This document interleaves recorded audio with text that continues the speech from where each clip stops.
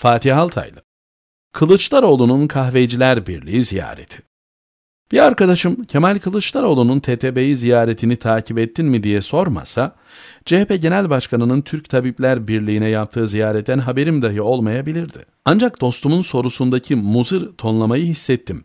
Ne oldu ki diye sordum. Bul bir yerden de izle dedi gülerek. Buldum ve izledim ya da ne yazık ki izledim.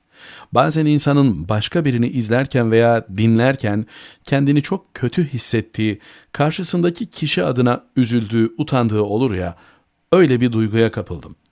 Böyle bir duyguya son olarak Anadolu Üniversitesi rektörü olan kişinin YouTube'daki görüntülerini izlerken kapılmış ve ağlamıştım. Hatta bunu da yazmıştım.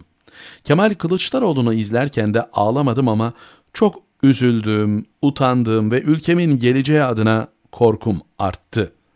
Türkiye'nin en köklü partisinin ve ana muhalefet partisinin genel başkanı sıfatıyla Kemal Bey TTB'yi ziyaret ediyor. O TTB ki son günlerde iktidar ortağının hedefi ağır hakaretlere, terörist suçlamalarına maruz kalmış, hedef gösterilmiş. Üyeleri hastanelerde dövülüyor, vuruluyor. Üyeleri pandeminin ön safında şehit düşüyor. Özlük haklarıyla ilgili problemleri var. Covid'in meslek hastalığı olarak gösterilmemesi nedeniyle uğradıkları hak kayıpları var. Şehit olanların geride bıraktıklarının sorunları var. Peki ana muhalefet partisinin genel başkanı Türk Tabipleri Birliği'nde kendisine ikram edilen kürsüde ne anlatıyor? Söyleyeceğim ama inanmayacaksınız. Kahvehanelerde ve kıraathanelerde kağıt oynamanın yasaklanmasından şikayet ediyor. Evet yanlış duymuyor, yanlış okumuyorsunuz. Kemal Kılıçdaroğlu TTB'de bundan söz ediyor. Kahveler açılmış ama yetmezmiş. Kahvehanelerde oturanların kağıt oynamasına da izin verilmeliymiş. Önlem olarak da her oyundan sonra deste değiştirilmeliymiş. Anlattığı bu. Yalanım varsa şuradan şuraya gitmek nasip olmasın. Uyduruyorsam iki gözüm çıksın. Yemin ederim bunu anlatıyor.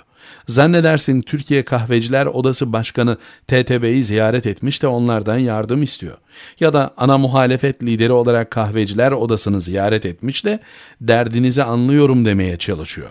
Ya da kahvecilerin oyunu alarak bu yolla iktidar olacağını. Gerçekten bu konuşmaya inanamadım. Sayın Kemal Kılıçdaroğlu. Beyefendiliğinize, insanlığınıza, kibarlığınıza söyleyecek tek bir lafım yok ama olmaz. Sizden gerçekten siyasetçi falan olmaz. Parti genel başkanı hiç olmaz. Keşke olabilseniz ama sizden bu ülkeye umut olmaz.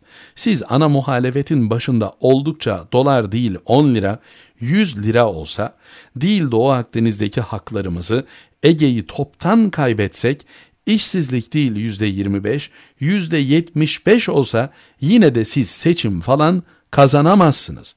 Bu ülkeyi bir dirhem seviyorsanız Kemal Bey, TTB ziyaretinizin videosunu izleyin ve sonra da böyle bir şey olabilir mi diyerek bırakın bu işi. Yazık, yemin ederim yazık bu ülkeye.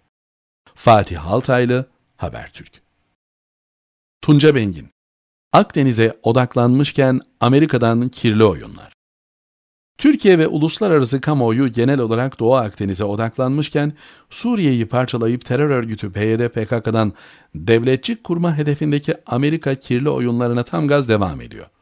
Bu bağlamda da öncelikle birbirine düşman olan PYD-PKK terör örgütüyle Barzani'ye, Irak Kürt bölgesel yönetimine yakın Suriye Ulusal Kürt Konseyi'ni barıştırdı ve aynı masaya oturttu. Ve bunlar Suriye üzerinde siyasi konularda anlaşma sağladılar. Terör örgütü olmayan bir yapıyla bölücü terör örgütü PKK, PYD, YPG bütünleşiyorlar ve bu bütünleşme planı Kuzey Irak'a kadar da uzanıyor.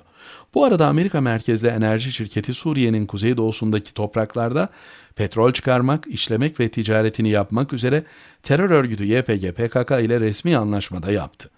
Aslında buna Amerika devletinin bir terör örgütüyle resmen anlaşması demek daha doğru. Çünkü petrol şirketinin bu anlaşması Amerika Dışişleri ve Enerji Bakanlıklarının oluruyla onayıyla mümkün oluyor. Bir başka deyişle her türlü kirli oyun tezgah devletin bilgisi izni dahilinde. Yani NATO üyesi Amerika aynı ittifakın bir başka üyesi Türkiye'nin coğrafi bütünlüğüne kasteden terör örgütü YPG, PYD, PKK'nın Suriye toprakları içerisinde siyasi ve ekonomik nüfuzunu artıracak her girişimi pervasızca uyguluyor.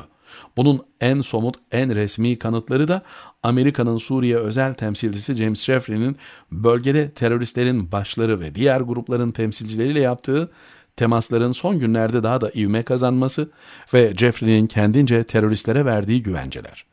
Dolayısıyla bu noktada akla gelen soru da zamanlamanın manidarlığı. Soruya İstanbul Aydın Üniversitesi öğretim üyesi emekli Tuğgeneral Doktor Naim Babiroğlu yanıt veriyor. Türkiye Doğu Akdeniz'e odaklanmışken ve Amerika Doğu Akdeniz'de Güney Kıbrıs Rum yönetimi ve Yunanistan'ı destekler tutum alırken Türkiye enerjisini oraya harcıyor. Stratejide önemli olan nedir? Gücünüzü, kuvvetinizi, enerjinizi, adımınızı, hamlenizi uygun yerde ve zamanda yapacaksınız. Dolayısıyla Amerika kendisi açısından stratejisine uygun zamanda bu adımları atıyor. Ama Türkiye Cumhuriyeti de köklü bir devlettir, aynı anda birkaç cepheye de müdahale edebilecek yetenektedir. Doğu Akdeniz'deki gerilimi özellikle Amerika'da tırmandırıyor anlamı çıkar mı? Elbette Türkiye oraya ne kadar fazla odaklanırsa Amerika Suriye'de kendi adımlarını, hamlelerini çok daha hızlı atar, yapar. Bu zaten stratejinin en önemli faktörlerinden biridir.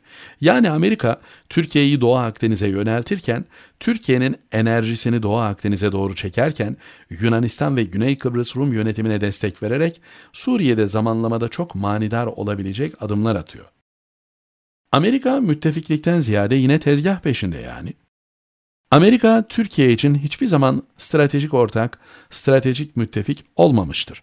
Amerika'nın özellikle 2003 yılından bugüne, Irak işgalinden bugüne Irak'ta, Suriye'de, Libya'da, Orta Doğu'da attığı bütün adımlar, Türkiye'nin ulusal çıkarlarına, güvenliğine tümüyle aykırıdır. Amerika müttefiklikle ilgisi olmayan hasmane adımlar atmaktadır. 2003 yılındaki çuval krizi, daha sonra vize krizi, en sonunda da terör örgütü PYD PKK'yı açıkça desteklemesi ve Doğu Akdeniz'de size karşı cephede yer alması. Bunların hepsi onu gösteriyor. Amerika müttefik olsa terör örgütünü etkisiz duruma getirmek isteyen aynı ittifakta yer alan Türkiye'ye bunları yapar mı?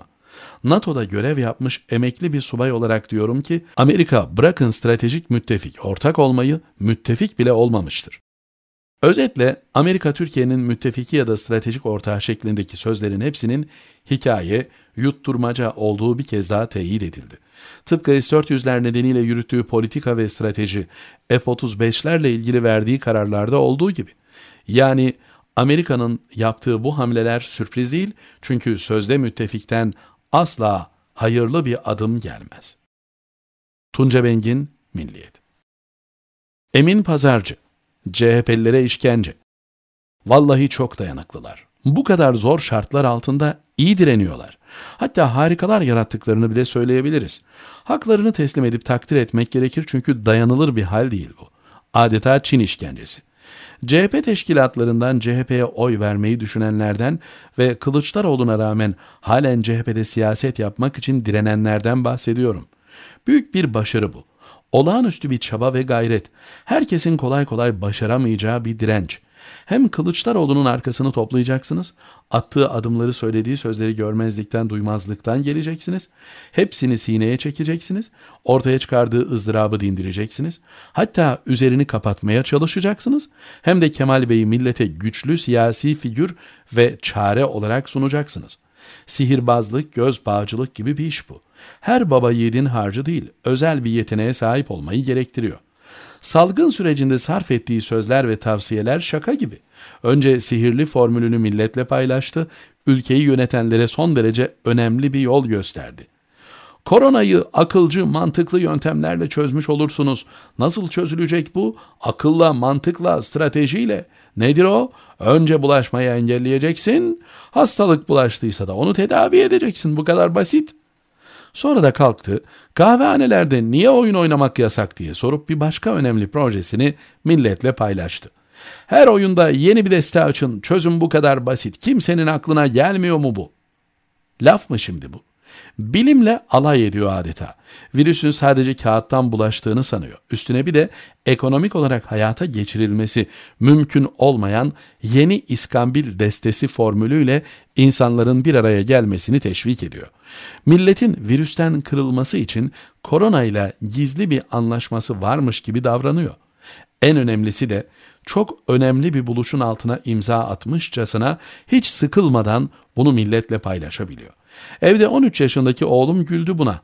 Olabilir tabii bu ülkedeki bazı insanların bilim, korona ve virüsle mücadele konusunda herhangi bir bilgisi bulunmayabilir. Ama ülkeyi yönetmeye talip olduğunu iddia eden bir isim bunları söyleyemez.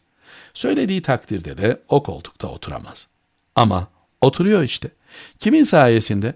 Artık Çin işkencesine dönen ve dayanılması mümkün olmayan böyle bir tabloya teslim olan CHP'lilerin sayesinde. El ele verdiler, büyük bir başarının altına imza atıyorlar. Bunlar Kemal Bey'in ilk vukuatları olsa eyvallah. Ama bir değil iki değil. PKK, YPG ile mücadele ile Suriye, Doğu Akdeniz ve Libya konusunda da tablo aynı. Adeta dünyadan bir haber. Ama Türkiye'yi yönetmek, her türlü sıkıntıyı çözüme ulaştırmak iddiasıyla ortada dolaşıyor. CHP'liler de ısrarla alkışlamaya devam ediyor. Tabii bu onların sorunu ancak bizim bu noktada millet olarak atmamız gereken bir adım var. Hep birlikte eski başbakanlardan Yıldırım Akbulut'tan özür dilememiz gerekiyor. Ne fıkralar uyduruldu kendisi için. Oysa bugün ayaklı fıkra geziyor ortalıkta. Akbulut hakkında uydurulmuş fıkralar bile bugünün gerçekleriyle boy ölçüşemez. Emin Pazarcı, Akşam